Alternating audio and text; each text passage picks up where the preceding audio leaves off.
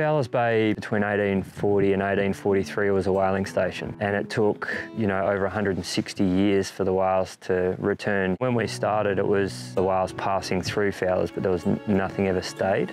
When we first bought this place there was one pair, a mother and calf pair and two adults and that was pretty much how that was their, that was the first year that whales were recorded back in Fowlers Bay. And then you know, when we rolled the dice that day and decided to, to set up a whale watching business, from that season onwards, the whale numbers have just increased.